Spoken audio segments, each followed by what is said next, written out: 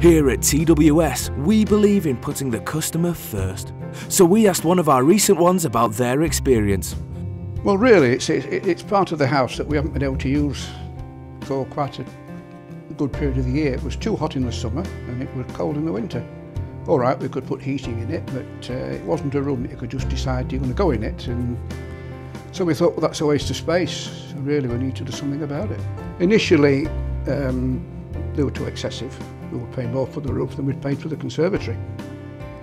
We got in touch with one firm and we had a bad experience with them. And then uh, we went on the internet. That's how TWS came into the picture.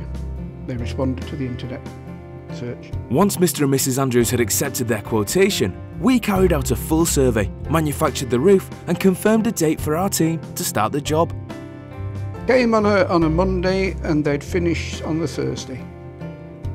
As I say, there was little disruption. The rest of the house, no interference with it at all. Because our roof systems are designed and built off-site, when the fitters arrive to start the installation, the work can be carried out quickly, efficiently and with minimum disruption to your home.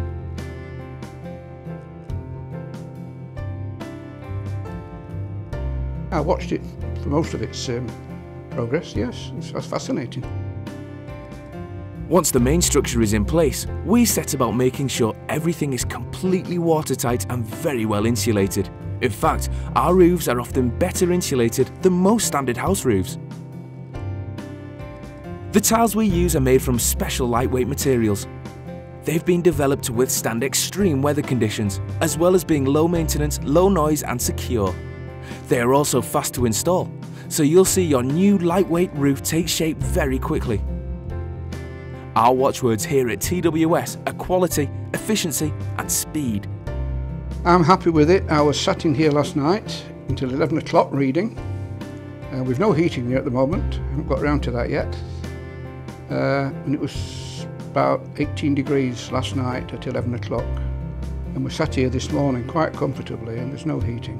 And it's not particularly warm outside, but in fact it's a degree warmer in here than it is in the main house. Dealing with TWS we found very easy. Yeah, they're customer friendly, uh, very obliging, the workmen were first class, cleared up every day, there was no mess, friendly.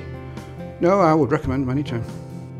If you want to find out more about TWS lightweight roofing systems, please register to receive our new downloadable guides.